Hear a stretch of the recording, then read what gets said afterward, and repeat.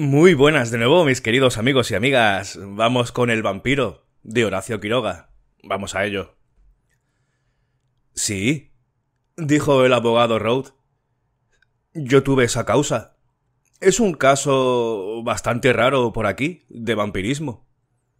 Rogelio Castelar, un hombre hasta entonces normal fuera de algunas fantasías, fue sorprendido una noche en el cementerio arrastrando el cadáver recién enterrado de una mujer. El individuo tenía las manos destrozadas porque había removido un metro cúbico de tierra con las uñas. En el borde de la fosa yacían los restos del ataúd, recién quemado. Y como complemento macabro, un gato, sin duda forastero, yacía por allí con los riñones rotos. Como ven, nada faltaba al cuadro. En la primera entrevista con el hombre vi que tenía que habérmelas con un fúnebre loco. Al principio se obstinó en no responderme, aunque sin dejar un instante de asentir con la cabeza en mis razonamientos. Por fin pareció hallar en mí al hombre digno de oírle.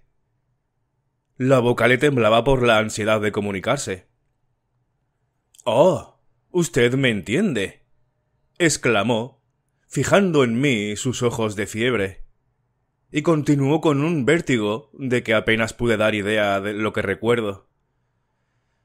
A usted le diré todo. Sí. ¿Que cómo fue eso del ga de la gata? Yo, solamente yo. Óigame, cuando yo llegué allá, mi mujer. ¿Dónde allá? le interrumpí. ¿Allá?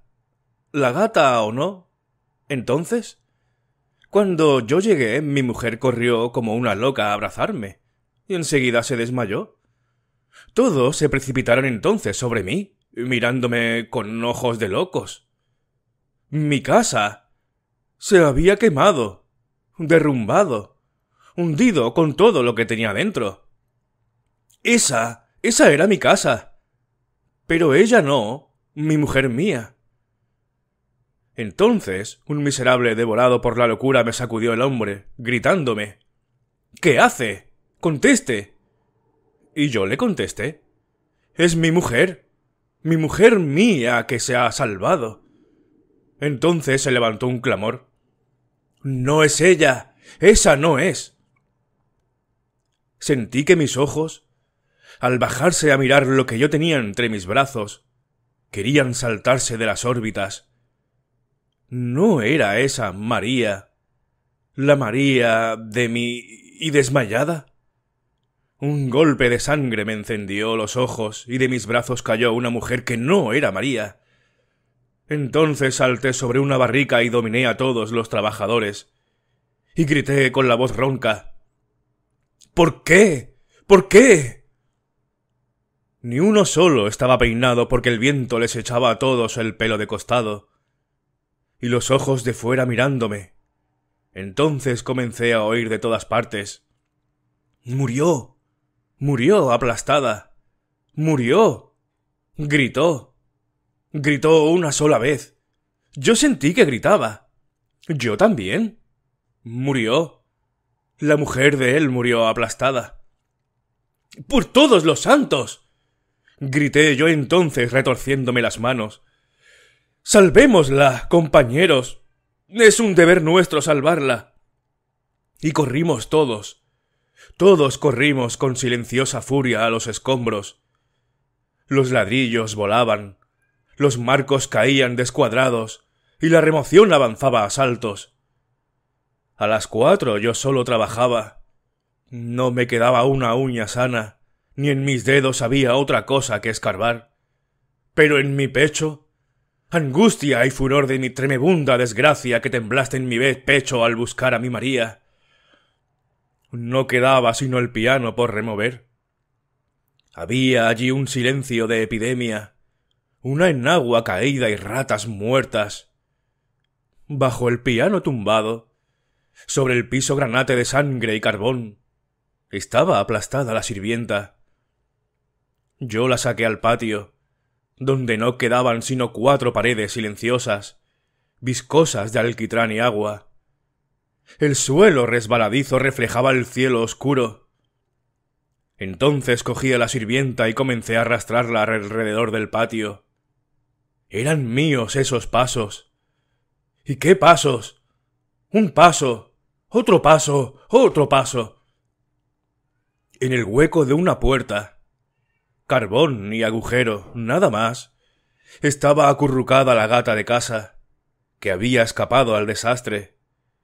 Aunque estropeada, la cuarta vez que la sirvienta y yo pasamos frente a ella, la gata lanzó un aullido de cólera. ¡Oh! ¿No era yo, entonces? grité desesperado. ¿No fui yo el que buscó entre los escombros la ruina y la mortaja de los marcos un solo pedazo de mi María? La sexta vez que pasamos delante de la gata, el animal se erizó. La séptima vez se levantó, llevando a la rastra las patas de atrás, y nos siguió entonces así, esforzándose por mojar la lengua en el pelo engrasado de la sirvienta. De ella. De María. No, maldito rebuscador de cadáveres. Rebuscador de cadáveres. repetí yo mirándolo. Pero entonces eso fue en el cementerio.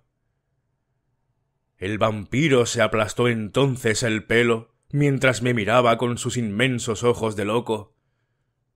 Con que sabías entonces. articuló. Con que todos lo saben y me dejan hablar una hora. Oh. Rugió en un sollozo echando la cabeza atrás y deslizándose por la pared hasta caer sentado. Pero ¿quién me dice al miserable yo? Aquí. Porque en mi casa me arranqué las uñas para no salvar del alquitrán ni el pelo colgante de mi María. No necesitaba más. Como ustedes comprenden, concluyó el abogado, para orientarme totalmente respecto del individuo. Fue internado enseguida. Hace ya dos años de esto, y anoche ha salido, perfectamente curado. ¿Anoche? exclamó un hombre joven de riguroso luto. ¿Y de noche ¿Se da de alta a los locos? ¿Por qué no? El individuo está curado, tan sano como usted y como yo. Por lo demás, si reincide, lo que es de regla en estos vampiros, a estas horas debe estar ya en funciones. Pero estos no son asuntos míos. Buenas noches, señores.